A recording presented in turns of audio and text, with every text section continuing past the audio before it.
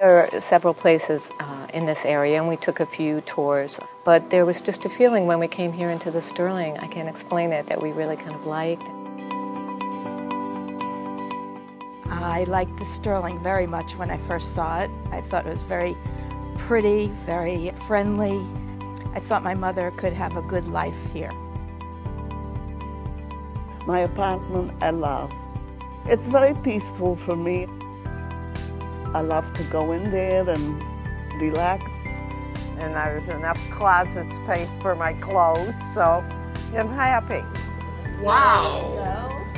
Oh, that looks super. She eats a good meal at every lunchtime, dinner time, and breakfast time. I know she's being fed nutritious food. They offer such a wide variety of activities. She does do a lot, and that really wasn't happening when she was living alone. You can be busy from morning to night if you want to be. She really enjoys coming to the happy hour. To have live entertainment and you get together with people. That's wonderful. We have a poker game a couple times a week, which I enjoy. They have outings and they go to really nice restaurants. Since she's come here, we've seen a lot of positive changes. My mother actually became more independent. I made wonderful friendships with lovely people. The staff here is the most wonderful people. They are my friends. Whatever the resident need, we try our utmost best to achieve that need. I am very satisfied with the care my mother gets at the Sterling.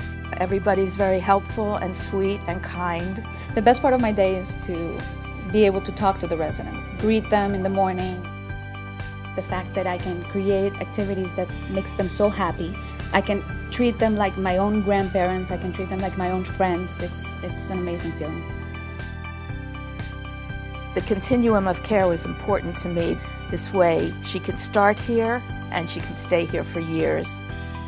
It gives me a lot of peace of mind knowing that she's here and somebody is always available for her.